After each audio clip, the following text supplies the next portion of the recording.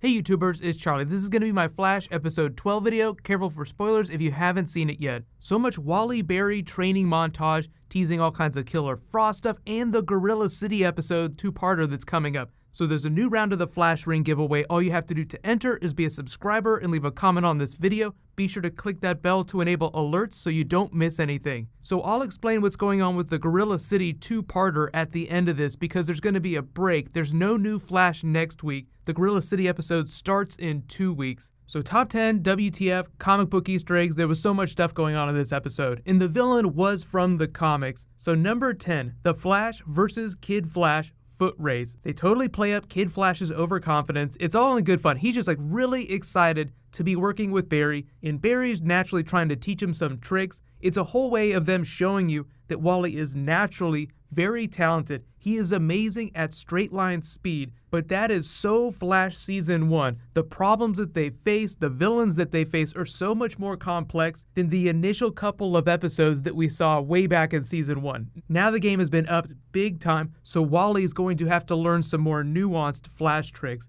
And there's all kinds of abilities. They tease this for Cisco's character too all kinds of abilities that you couldn't even imagine that they haven't figured out yet. The Speed Force can do crazy things, and each speedster has their own type of abilities that they learn just based on the way that their brain works. So, no two speedsters are created alike. Some of them have abilities that others don't have. So, naturally, Barry gets Wally with the phasing. That was one of the hardest things for Barry to learn, but it was the Reverse Flash's signature takedown move, just phasing his hand right through someone's chest. Number 9 was all the funny betting that everyone was doing while they were racing. We learned more funny facts about Earth 19. Betting was banned after an incident with Vice President Al Capone, Abe Lincoln's on the $100 bill, not Benjamin Franklin. And Cisco finds a couple more opportunities to name drop Gypsy, just letting you know that he hasn't forgotten about her and she's probably coming back on the show before the end of the season. But number 8, enter the villain. So this is Clive Yorkin. He's a character from the comics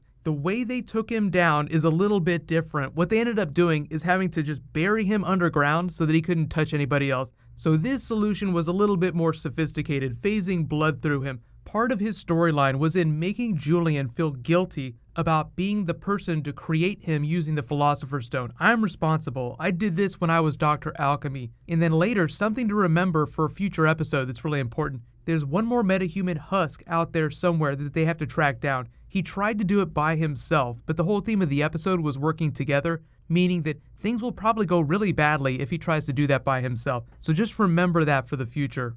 But the big thing is Luigi's restaurant. It's part of the board of Iris's death of things that they're trying to change. Iris is freaking out because not everything is being wiped off the board. So it's just a way to show you that even though they are able to change some things in the future, they won't be able to change every single thing. So that'll come back around at the end of the video when I talk about some of my bigger WTFs like Killer Frost and Dr. Alchemy. So just remember that not everything is going to be undone. There'll still be some bad things happening to people. The prophecy will still come true, Savitar's prophecy, but it'll be a little bit different. Number seven was Cecile's daughter, just being really awkward and funny, making Joe pick between Wally and Barry. Who's the better one? You know, who's the real hero? Don't do it, it's a trap. So there were a couple times in the episode where they made it seem like Kid Flash was getting all the glory and people were forgetting about how awesome Barry is, but then there were some moments at the end that took that back, so they balanced the scales a little bit. They just want to show you that there are people that are really jazzed up about Kid Flash, but they haven't forgotten about Barry. Barry is still the main attraction. Kid Flash still has a lot to learn, but I was expecting some big twist with Cecile's daughter, but it turns out that she's just like a normal kid. But they did say that she'd be coming back in a month, meaning that's like a couple more episodes, so she'll be back before the end of the season. Number six is all the Julian Caitlin CSI scenes early on the episode, where he's just a total douche to her. So I love all these scenes. I think we've seen more of Caitlin doing actual CSI biology work, which is her chosen profession. She's a biologist. We've seen her do more of that in the last couple of episodes than in any previous season. So one of the things they do each new season is because they're still in Star Labs, they try to do new sets. So like the medical lab looks very different from previous seasons. So whatever ends up happening at the end of the season going into season 4, we're still at Star Labs. They'll have different sets, but we'll still have some of the old favorites too. Like they'll still have the portal room to Earth 2. They'll probably keep the speed lab, but there'll be some other places inside Star Labs that we haven't been before. Number five, Barry is having trouble training Wally. He just keeps running into the board, bouncing off, trying to phase. It's not working. Barry wonders what Eobard Thawne did to train him, and I love the crack that Cisco made. He says, oh, he had about 15 years to plan how he was going to train you. Just reminding you that that version of Wells had to wait that long for Barry to get his powers so that he could train him to use his power to get himself back to the future. But they did a good job in the episode of showing you some of Wally's frustration, like he's really good at straight line speed, not really great with the more nuanced skills, but he is smart enough to understand quantum theory when they have to vibe into a Flashpoint universe. So what you have here is Barry learning to be a teacher Jay Garrick style. He needs to be an inspiration to the people he's teaching, not just somebody who gives them assignments to complete. Everybody's had a teacher like that. Just give me the homework. And then you have other teachers who are amazing because they inspire you to be better. So there's going to be a lot more of this the rest of this season and in all the future seasons if we ever get more speedsters. Like I know a lot of people want to see Bart. Barry's going to have to be able to be the Jay Garrick to other speedsters the way that Jay Garrick helps him. So number four is vibing a Flashpoint universe. So you have to keep in mind that they're not vibing what Flashpoint was. There's an infinite number of universes out there. A lot of you have asked me that question. So in the Flash TV show, there are infinite universes. So they vibe one where Barry did not undo Flashpoint just to find out who the last person Clive Yorkin is going after. So they find her and they track her down. But I just love the idea, you know, Cisco's teasing abilities that he doesn't have yet. Gypsy's saying that he has all these things that he doesn't even know that he can do yet. So he's actually one of the most powerful metahumans on the planet. He just doesn't know it yet. He could actually vibe the planet apart. That's how powerful he is. He can cut speedsters off from the Speed Force, meaning he could turn their powers off, and he has telekinesis, meaning he can move the Earth around telekinetically. But the other smaller one that's a little more useful is that he can also become undetectable to security cameras. So there are all kinds of abilities that they can roll out in future seasons. Maybe because he has the costume and the gauntlets now, we'll see another new Cisco power before the end of the season. But I almost forgot, when he vibes that other Flashpoint universe, Alex Desert Julio Mendez is still alive because remember, he was the police captain during Flashpoint. He was from the original 1990s Flash series. He was their version of Cisco on that TV show. So it's always fun to see him come back. I saw a bunch of you were bummed out when they killed him off during the episode, but there's so many ways they can bring him back. He can come back during flashbacks from alternate universes like he did in this episode, so he can still come guest star on the TV show but it's always fun to see those older characters come on the modern TV show. Number three is Julian talking Caitlin down from Killer Frost before she just lets Iris die. So the whole thing with Caitlin here is that it's like this really nuanced use of her powers. You notice that that was the thing in the episode, teaching Wally to use his powers in a really nuanced way. Caitlin learning to use her powers with a lot more control. That'll be useful when they try to fight Savitar at the end of the season. So Caitlin starts to go more and more Killer Frost because Iris is getting worse and worse, so she starts speaking with her voice. Julian has to undouchify himself and talk her down, which circling back around to the Flash prophecy about what I said earlier, Julian feels like he's weak, he wasn't able to fight Savitar's control, but then later at the end of the episode, she invites him out for drinks, she tries to tell him that, hey, you're not weak, so it seems like they're kind of a pair now.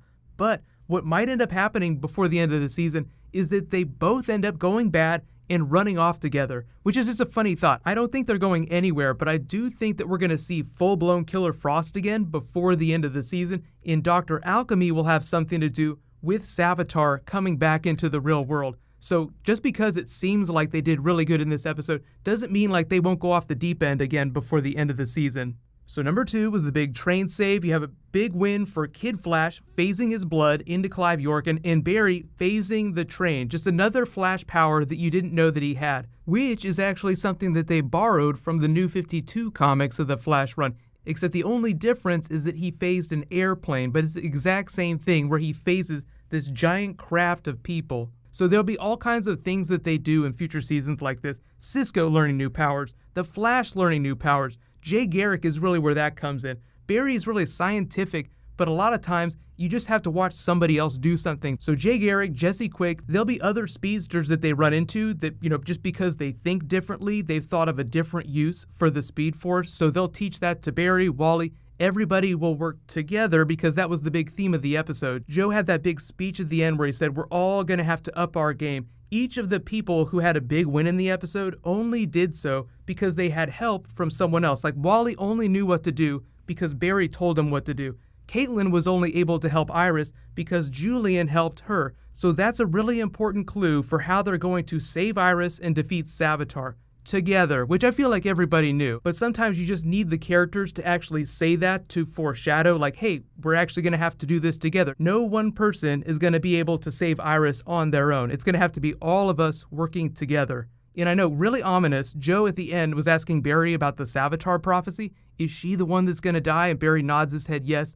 That is not necessarily true. They can change the future, but I don't think that they're going to change Savitar's prophecy. Someone will still die, someone will still suffer a fate worse than death, etc. So more and more, I'm thinking that either Julian or HR are going to be the ones to die because they're sort of the odd men out on the team that are redeeming themselves. Like Julian is having this big arc where he used to be this terrible person doing terrible things for Savitar. Now he's turning into a good person. Boom, yank the rug right out from under you. And HR is trying to do the same thing, make his life have meaning. Once he achieves that, what would be the most WTF thing you could do? You kill him off. So they are the two people that are at the top of my death list this season. But my number one WTF is obviously the Gorilla Grodd teaser at the end. Wally's so happy that he phases in, boom, out pops Jesse Quick. My father's been captured and taken to Gorilla City. Just to explain the Gorilla City episode, it's going to be a two parter. It's just like last year where they did the two part Earth 2 episode, so we'll probably see some familiar characters,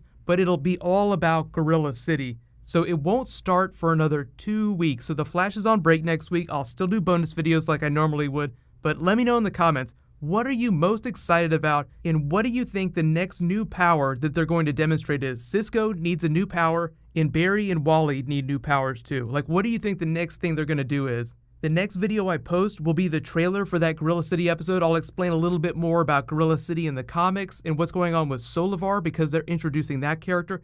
Then I'll post my Legends of Tomorrow episode video. But congratulations to the new Flash Ring giveaway winner. It's Albie. Please private message me on the back end of my channel so I can get your contact details. There was a new round that started in this video. I'll announce the winner when I post that Flash trailer video in the morning. So get hype, it's gonna be so awesome. While you wait for that, you can click here for the Iron Fist trailer and you can click here to learn what the different colors of Flash Lightning mean. Thank you so much for watching, everybody. Let's high five. I'll see you in the next video.